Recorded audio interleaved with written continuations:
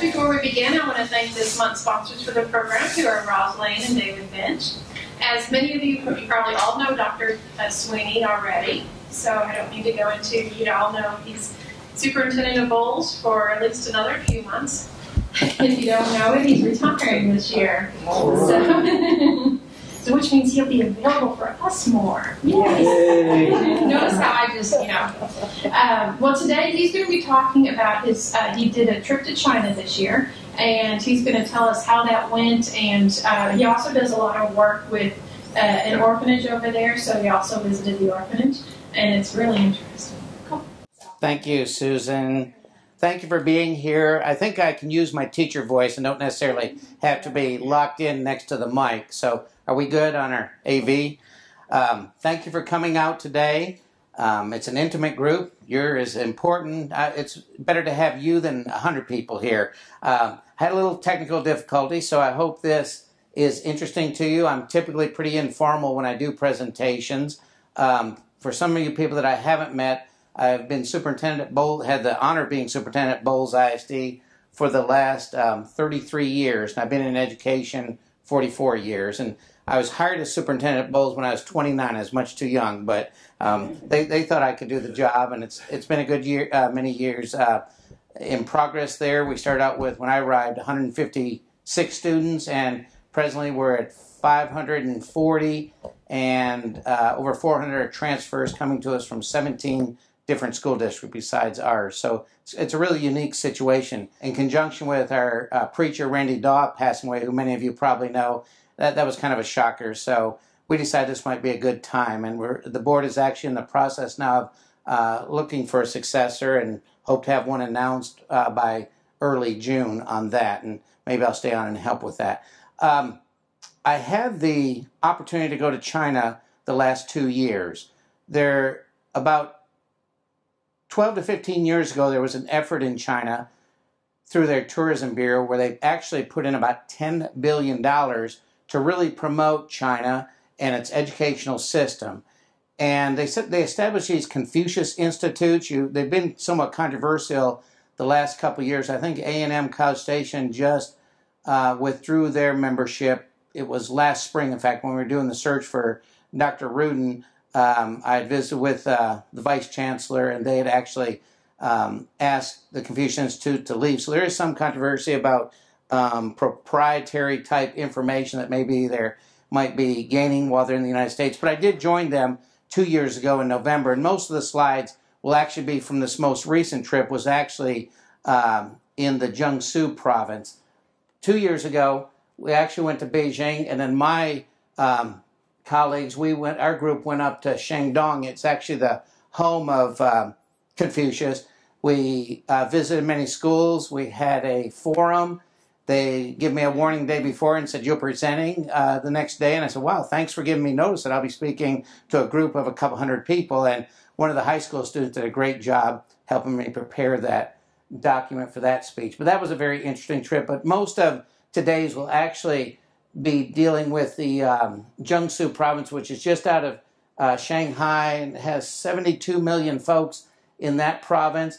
And then while I when I was before I was going on this trip, my kindergarten friend, who still we talk daily, said he's on the board of Agape Asia of these orphanages that we uh, oversee and manage in China, and now moving into India also. He said, "You're taking a side trip." I said, "No, it's busy enough. My life is busy." He insisted and pushed me and encouraged me and one of the best things I ever did was seeing how the orphans lives and the work that we're doing.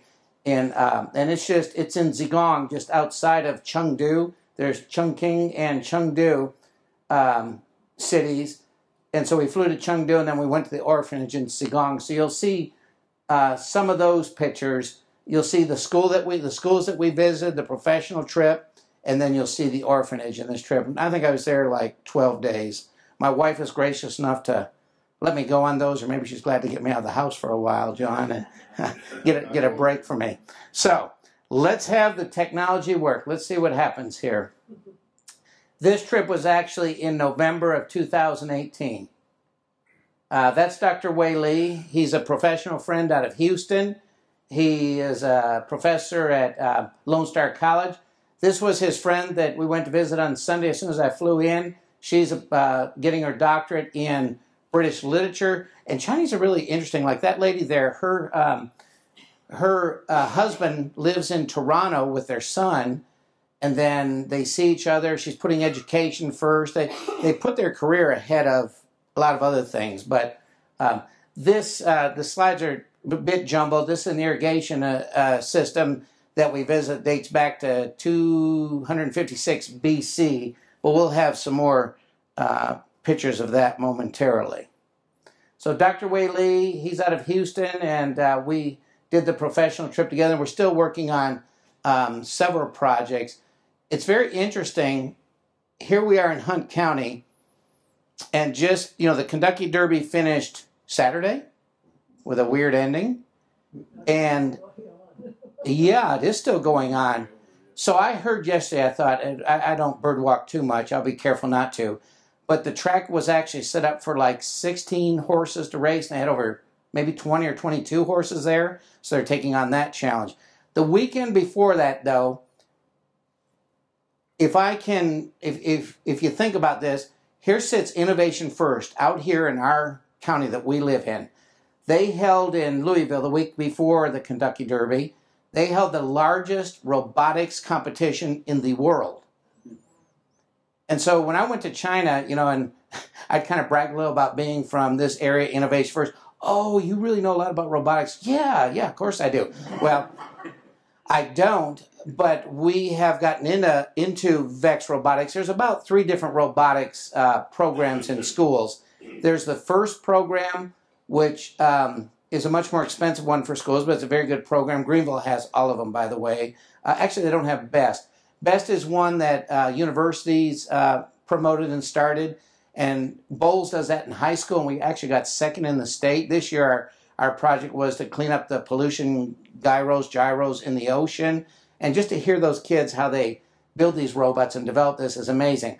And then we got into the middle school, we got into the VEX robotics, which is here in our hometown. So when these kids go to competition, this is all going to fit into this. When they go to a competition, they set up alliances. you two have met, never met, maybe, but you you have your robot there. Meet one another. You have about an hour or two to communicate your strategy uh, to pick up the hubs, as they were called this time. They have a different competition each year. Oh, but you're you speak Mandarin. Oh, you're from uh, Portugal. Oh, you're what are we going to do there? So they actually get out Google Language, and the kids are strategizing together, talking with their iPhones or whatever phone they might have, uh, strategizing what they're going to, because they earn the points together as a team. And it, it's really a neat concept. It, it's really uh, very interesting. So I think we got, this is our first year to go to World, just to put us into perspective, but to go to World is an honor. I think Boles was like 60 out of 86. So we were in the bottom third or maybe in the top two thirds, however you, you want to measure it. It might sound better in the top two third. But it just amazes me that out of um, our little town or community is innovation first that's impacting the world. I just met with a gentleman this morning, um, uh, Herman, um, forget his last name. He he was in from China. He works. He handles all of the Asian uh, innovation first programs for all of Asia, and we are actually establishing uh, two summer camps at Boles ISD and at Boles Home this summer, where groups are going to come in and collaborate with our kids and have camps um, on our campus. So I think that's kind of neat. His group will actually be coming from Shanghai, and the other group will be coming from a different city, Nanjing. And you'll see some pictures of that. So we'll move on. Um, better work very common to be in a park and people exercising. Dr. Wei Lee, I pushed, I said, go do it. He said, sure, I'll get in there and uh, exercise. Every day, senior citizens are out in the parks walking, moving, dancing, uh, judo, tai chi, all that stuff is going on every day. That happened to be a Sunday. Wish I could play the music to this for you. These kids are very skilled in their fine arts program. We'll have some uh, with some music uh, for you momentarily. Uh, this is the city that I actually stayed in for my professional week while I was there. Um, why I included this, the East China Sea is here. Um, beautiful hotel I was in. but they in all these cities they're getting where they're very modern with all these subways they're building throughout all these cities and their interstate highways for lack of a better term are very good shape they don't allow certain tonnage or weightage on those roads so their infrastructure is developing very quickly in all the cities and as, as an example of where i was i think i said nanjing this actually nantong is where i was at I uh, went to this is our first visit to one of the schools the kids want to take a picture of me. They love being with Americans. I kept telling them, not John Wayne, but uh, I was visiting, I was doing some FaceTime with my daughter. Um, she just randomly called me. $10 a day and your phone works in China. I mean, just instantly, no problem. So she FaceTime and she's talking, and a, a girl just comes over and takes a picture. You know, I said, Dad, what'd that girl do? Just take a picture? I said, that happens all the time, Kara. And so it, it was kind of cute. Um, this would be a typical looking um, campus I think they had about 4,000, it's an elementary school. I believe they had 4,000 students at this campus. Kids were all excited to have us on their uh, campus that day. They play basketball. Uh, uh, Chip, you're very observant. Hold on for a minute, Mr. Good Student. Give him a star, Susan. Yes, there is a there is a basketball court. How do you figure it's elementary, John? Okay. All right, here we go.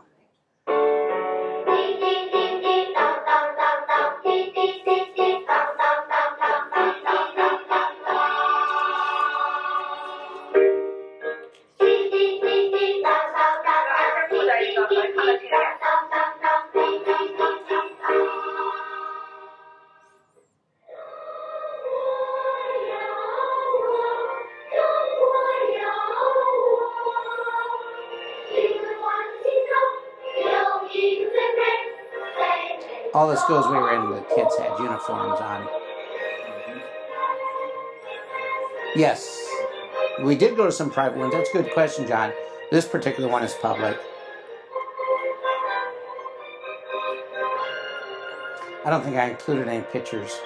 But in the high school we went to, John, um, they were still there like at 6, 6.30 at night, the students were. Very long days take education extremely serious.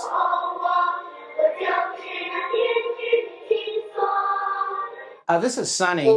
She is the lady that's over all of the Jiangsu Province Exchange Program for North America, um, United States, and Canada. And we're actually working through her. This thing really grew. I developed a really good relationship with these folks, and they liked me, so they came. They actually have an office in California, so they made a trip to Texas mm, a month or so ago and we got a meeting with the governor's office, economic development, Mr. James Chen, and we're going to bring in October. Uh, they already had planned a, a, professional group of principals, 40 of them, up to 40 of them, going to New York, but they were so impressed with Texas and what we are going to offer them, they're actually going to take five days out of that trip and come to Texas and then maybe move it to Texas in the future. So in October, We'll, we'll be uh, hosting those principals in Dallas area through our Educational Service Center at Region 10, and then we'll disperse them to schools in that area. They won't come out this far, but we do have Texas A&M engaged if they if that that's always an option in the future. They want to be involved in every way that they can. And then they're gonna they loved Austin as we took them around the Capitol and those places. So they're gonna do a couple days in Austin. We have them uh, linked up. We met with Texas Education Agency, so we'll have a uh, forum down there, and then we'll uh, put them in a school and for a half a day in that area. And their theme this year is STEM, so that's what we'll emphasize with them. So Sunny, Sunny's group and us. In fact, I just had a conference call yesterday uh, concerning that. Any questions so far? Really sure well, yeah, the the soft date for that is like August first, somewhere in there. I don't want to ever retire. I, I love my job. I'd stay there forever. They don't even have to pay me. Well, I do have to eat something, but um, I, I, don't want to retire. So I, I, this this might be one of the activities that I get involved with is doing something like this. Um, typically, well, typically, well, they'll definitely let me go to that because they're bringing them here and we're hosting them. So these are some slides of the kids. Lots of calligraphy, fine arts going on, um, paintings, very friendly students, excited to have us. these kids are working on an environmental project of uh, things in the ocean, and they're putting them in this ocean uh, environment right behind them, as a matter of fact. Yeah. This little girl's making a silk rose. In fact, the whole room they're making silk roses, and she'll present me with hers when she finishes it. Yeah, give you lots of gifts.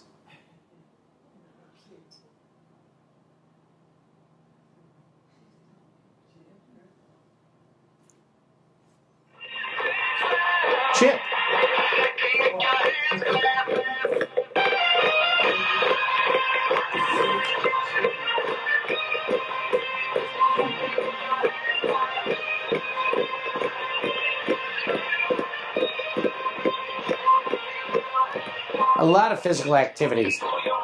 Judo, Tai Chi, swords. This is a cute one. It sounds Texan, the song. And it's Cowboy.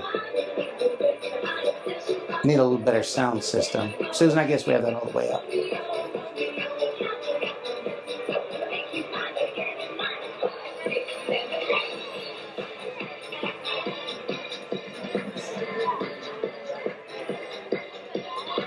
You can see a lot of the housing in the, except it gets a lot taller than that with buildings and more intense. Um, pollution. Yeah. When the week before I went to Shandong, that was the trip year before this. Uh, wow, it's beautiful here, and the, the pollution was so bad they had to shut down all the factories a week before we got there. So th- that is an issue.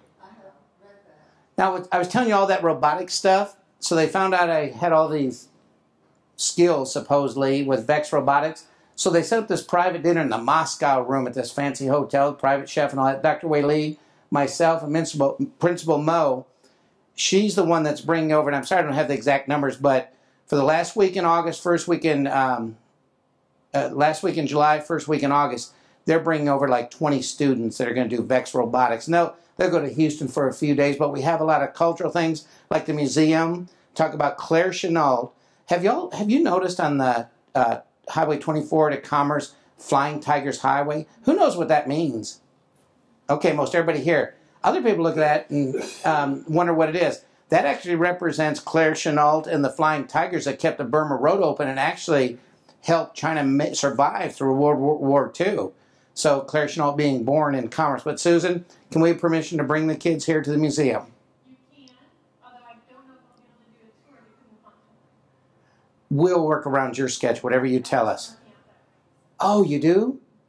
Well, we'll try and coordinate it with you the best we can. Yeah, I can help with the tour, not as good as Susan. So this is the group that where Johnny. Um, does anybody know Johnny Tharp? Okay, so Johnny retired from Greenville. And he was like from the founding of Vex, understands all these robotics, and he started his career 10, 12 years ago with Bullseye at age 50, I think he was, and he taught math for us and did a great job. And then he moved on to uh, the charter school out here and put a couple years in in their robotics. And then he went to Greenville and handled all their elementary and middle school Vex robotics. And so last year, when I was up at um, World Competition in Louisville, I ran into Mrs. Tharp walking uh, on a Sunday afternoon, and I said, "Well, how are you and Johnny doing?" She said, "Well, Johnny's retiring."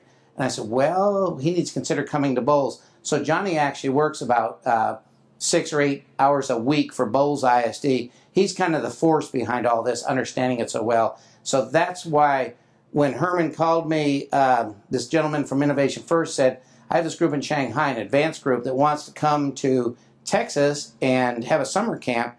Do you know anybody? I said, Well, I know a guy named Johnny Tharp. He goes, I know Johnny very well. I thought he retired. I said, He sure did. Now he's working for Boles. And so that's why Herman came this morning to explore our setting, and he said it'll work just fine for that group to come in. So Johnny Tharp is invaluable to us and to a lot of people. Um, so that that was the planning of that. So now here I got this concept, and Johnny said, "Quit bragging about that publicly," but I'm still going to brag.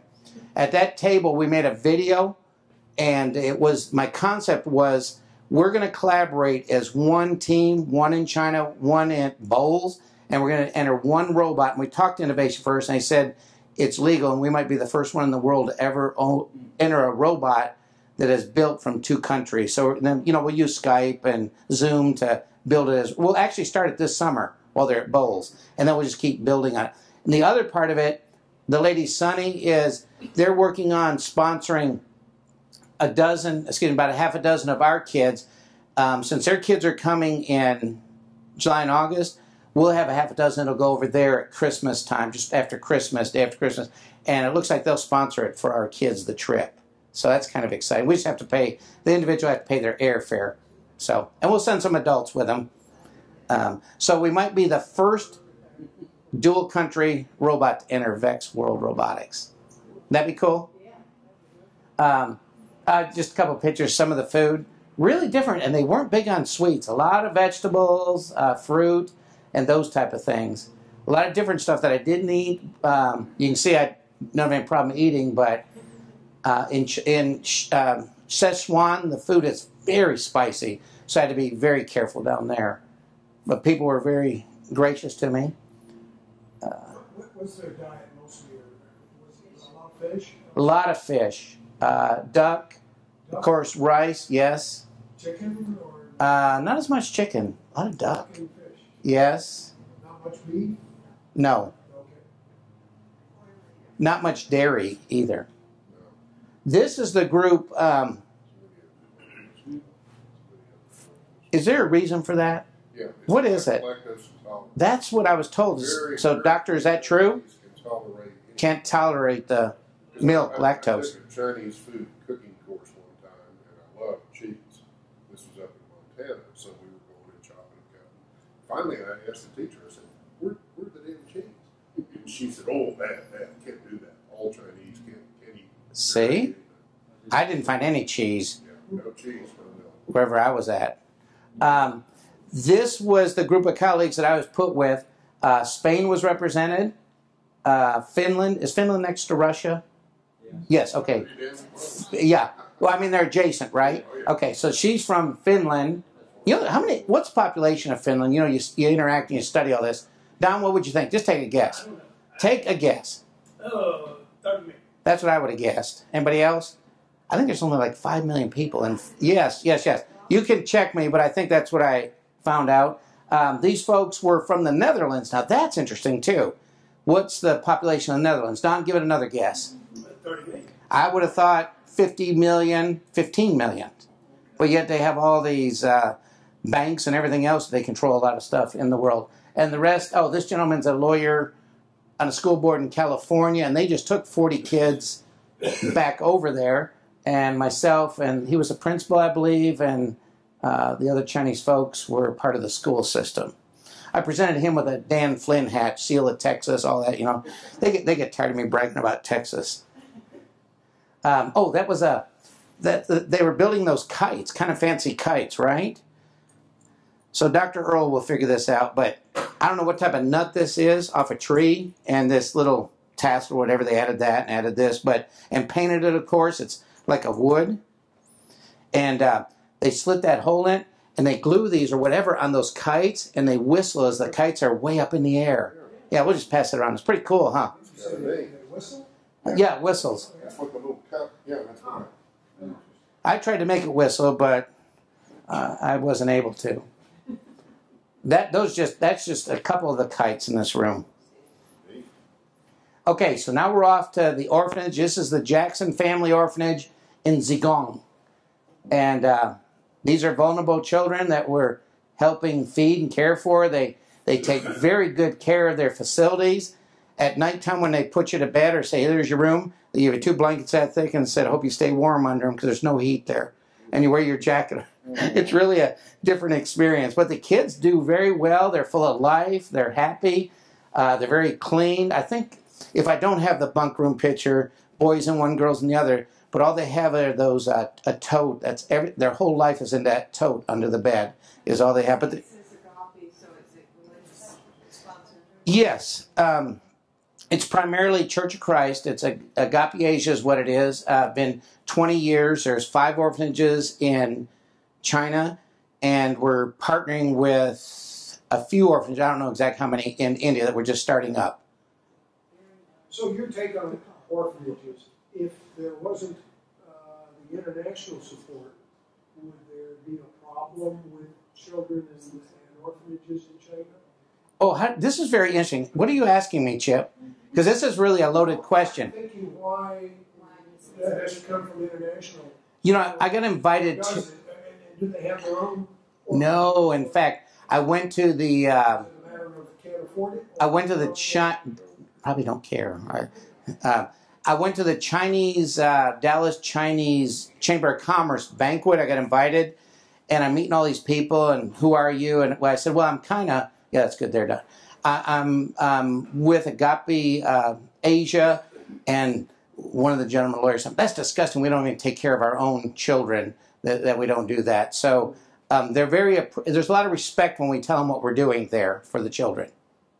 Uh, one girl that was left at a hospital by somebody, uh, her parents, um, Zen Zen, finally got open heart. She's about 16 right now, and all they said was she's going to die because her circulation was horrible. Her hands were blue and that. Well, miracle of God, about two months ago, uh, we got our open heart surgery with a bypass in China. We tried to take care of stuff there. Uh, the whole cost of that was $13,000. Now, on these other extreme medical cases, which we don't do a whole lot, but we've helped some very serious ones, um, we bring them over to the United States if we can't get it done there.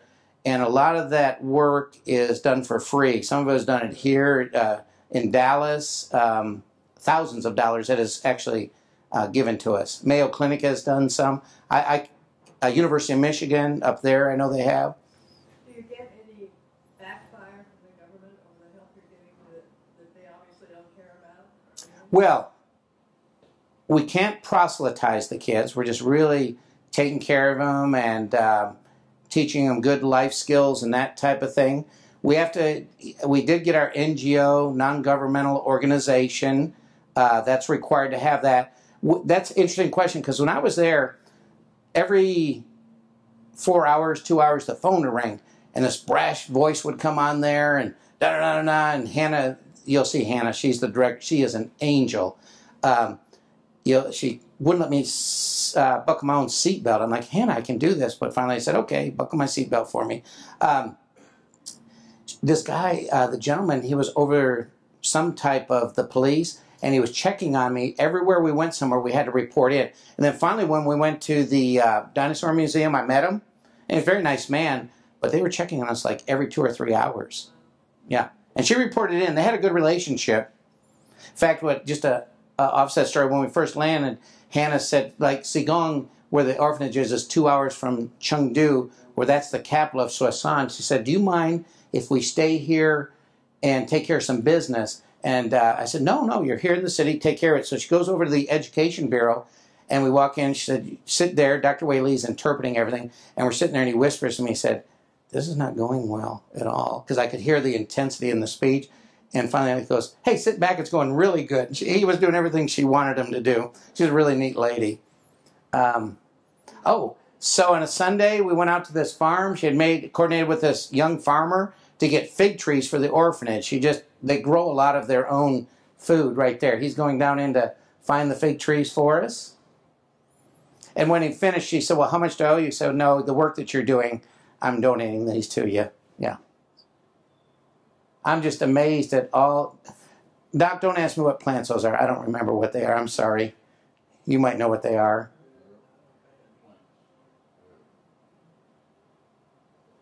Bringing the fig trees out of the. Yeah, those are figs. And I forget what these are that you picked while we were there. So we had a house church. Churches are not real common there. Uh, Mary is a dentist. We were at her apartment. The gentleman that was over here didn't have any arms. He was born that way, but he's a famous artist in China and paints with his mouth. Uh, Dr. Wei Li, myself, and there's Hannah that protected me the whole trip. She wouldn't let me. In fact, um, one day uh, near the how we doing time wise? Somebody, are we okay? Take every minute you want. Well, I don't- right. Oh, if I'm boring, I don't want to. Uh-uh. Okay, so, um, oh, so uh, the day, a couple days before we left, Dr. Wei Lee said, We're going to Chengdu. They're going to take us to Chengdu, and then I want to go see this temple that I've always wanted to see of the certain dynasty all my life. It was right there in Chengdu, fine. Then he takes us to this irrigation center, and on this, he said, Okay, it's going to cost you $100 for two nights in a hotel. We're going to go see the Panda International Center, and we're going to go to this irrigation center. And I said, Oh, that's very reasonable. In those two, each day, I walked eight and a half miles and uh, and one of them was up a mountain that I, I think I showed it to you at the beginning, or maybe I missed it, but they had these guys that'll carry you, and I said, I'm not going to embarrass myself. Next time, I'll pay whatever they want to carry me up that thing. My my feet hurt. There was a pharmacy next to the hotel, and there was a a, a doctor's office. I went in the pharmacy, and I didn't know any better, Doctor Sir, but I bought some of those uh, heat pads, and I put them on my feet, and oh, that felt so good with the ibuprofen, but it didn't do my feet very well. They felt good, but I burned the skin with them. Okay, where are we going next? Come on. Oh, okay, so I just threw this in there. So uh, Vex Robotics is in Wuhan, and that's why I met this morning. That's his office. And he's actually, I arranged this morning, he's going to send back, he's going to send somebody, he said one of his lieutenants to go to Chengdu to meet with Hannah, to meet with the education department about getting, yeah, there's China there. Th- this was a year ago, not this past year. These folks happen to be from Shanghai. They may be one of the some of the kids that are coming to see us this summer. I don't know. At this point, we're still in communication. That that's a big. Who's friends with Tony Norman and Bob Mimlitch? But Was that he in the picture too? That was uh, was he in? Yeah. I can. Was he? Yeah, Yeah, go, go back. Okay. back up. He was second from. I think it's the next. No. Go the other way. The other way. Well, that's, it's not, Well, I jumped on you. I'm sorry. It That's was a okay. plow after the first picture. It disappeared. Yeah. So that was a bougainvillea. Hannah and the kids have planned all those bougainvillea. Now we went to the dinosaur museum. That was the tail of the big dinosaur. World renowned Zigong. And I'm trying to find out, I think it's rated like one of the 10 best in the world. Those are mannequins down there. That's an actual site in the museum. Um, it, was, it was amazing. Then they forced me to stuff that in my suitcase. I said, I don't need a gift. I- so I love it. I put it on the front table, see it every day when I go by. Zigong is where that is. That's the bougainvillea they plant everywhere. Isn't that beautiful the way that's growing? So that got interspersed in there. Those are the kids at the VEX program. Oh, I'm going the wrong way. Sorry, folks. It's The okay. children- those are the children. Oh, let it let it rotate on its own. Let it rotate. Okay, it, it might be the next one that rotates. Yeah, that's what you're telling me. Oh, yeah, There they are. yeah. These are the uh, Tony Norman and Bob Mimlitch. These are the owners of Vex. Yeah, just local guys that did well. Yeah. Okay. Some of these scroll through. That's why. Okay. Back at the orphanage. You said Oh, go ahead. the professor from China teaches at a college here, Lone Star. Oh, Dr. Wei Lee that went with me, he is a that thing's gonna move on me, but that's that's a merchant area where it's really cool where they have this irrigation. Look how fancy this bridge is. I'll come back, John. Okay. That's, Yeah, I didn't mean to jump around. Yeah, it's on its own. Ah, I wish it waited for a minute. I think it stops here. So back in I think I told you at the beginning when this irrigation system was set up, but nobody's gonna remember that except Chip. Yes, Don. Susan, two stars for Don. 256 BC. Bamboo with rocks in it, and they would just use those as gates somehow, letting up the water through it. It's very, it's very strong river. John, since that's steady for a minute, what was your question? He's a professor at Lone Oh, oh, Dr. Wei Lee is a professor in Houston at Lone Star College. It's a community college, but there's, I think it might be one of the largest in the world. It's like 55,000 students with several campuses in Houston. Um, he, he, he taught English, but now he's uh, emeritus and he just works with international projects with them, taking students to China. Yeah, and it was a blessing being with him to understand everything. This, Susan, is a museum we went in. That's cotton. It was real popular in the Nantong area, and they're loading the cotton boats and that type of thing. I mean, pardon? No, they knew they in fact, Claire Chennault, there's like a Disneyland Claire Chennault Park over there in. Um, um, I can't think of that offhand which province that's in, but highly respected Claire Chennault. Not, not surprising, though. he was the first one to take the war to the Japanese. Yes, Before we could get into it, they thought he was God. They made him one of their major generals in the, in the uh, Air Force over there. so Chiang Kai shek and him Yeah. linked up. Mao Zedong and Chiang Kai shek actually, now my history is very limited here in Far East, but they were actually partners and doing well, and then they split. And Chiang, after the war, actually, and Chiang Kai uh, shek, actually, I was reading when I was studying this recently, actually lived in Taiwan and ruled China from Taiwan for a few months. In my readings, yeah. Okay, what did I do? Go backwards? I think so. Oh, there's that. That's part of the river. The big part of it's back here that we'll see. I Hope I can show you that mountain I climbed up. There's the there's the rope bridge. We're gonna cross over.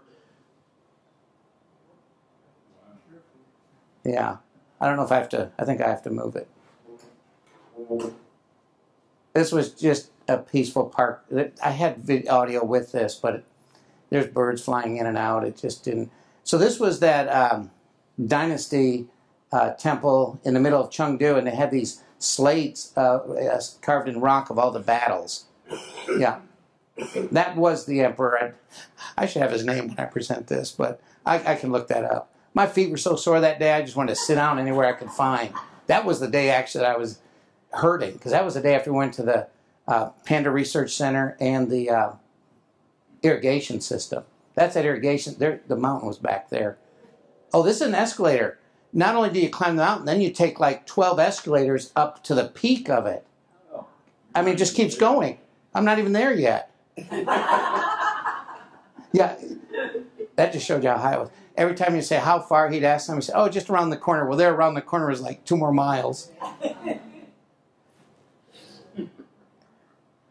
Oh, this is pretty cute. That'll last a few seconds if if I, if you don't mind me letting that play.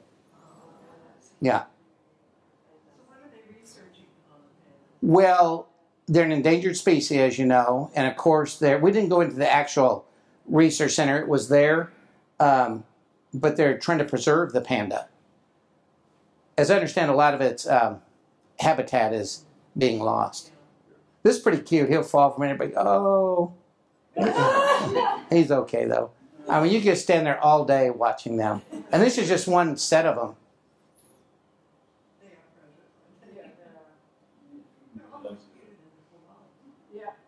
For Christmas, J.C. Penney's here locally had these nice pandas on sale for like three ninety nine with a little red pouch.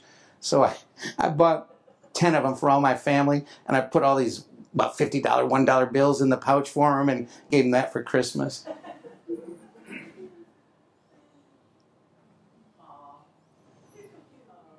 I don't know if it's a brother sister or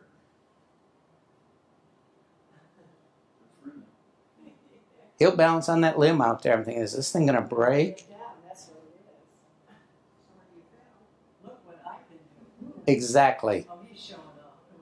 Yeah,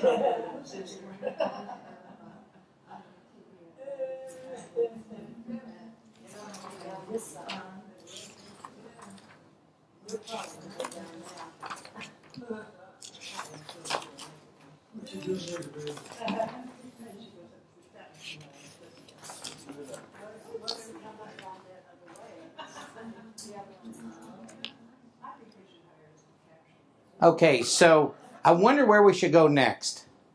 All right, anybody have a guess?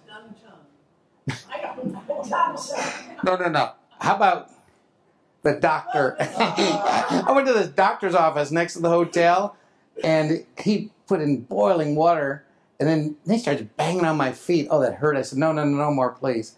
And so then he was showing me how he does cupping. I didn't know anything about that, but he does all that, and we didn't do the cupping. And I think the next slide they put it in there for me is pretty cute because they're kind of comparing me to a panda bear. I think. Let's say, Let's say. We're getting ready for our flight home after all that walking. I think they're comparing the two. You look like you made it.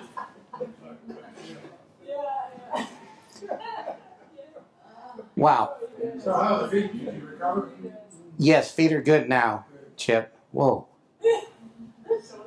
Well, and you go, you saw that tall school, right? That elementary school that were like four or five floors. Um, they have an elevator somewhere, but No, they just hike. Okay, I'll trudge up, and I'm dragging you, hanging onto the rail, like. And so I get to the orphanage, and I, they say we have your own room, and there's an actual Western style toilet, and I thought, wonderful. But it's on like the fourth floor of the orphanage. Why couldn't they have it on the first floor? I think this is the last photo. Come on. Yeah, that's actually at the research center. That's all bamboo they're growing to feed. The, I'm actually hanging up to that bamboo. Like, Take the picture. So that was my trip. I hope it was uh, interesting. Hope you enjoyed it. This video has been brought to you by Juice34. Juice is your community-owned provider for electric, internet, cable TV, and true local programming. When you pick Juice Internet, you get more. More quality service with free same day installation. More options for packages, either standalone internet or bundled with cable TV. More hometown pride with employees and decision makers right here in Greenville. More reliability when you need it most. And more convenience with bills rolled in with your other utilities, along with easy drive through service. Nobody does internet like Juice. So when you're ready for more, you know who to call. Juice Internet. Hometown service, world class reliability.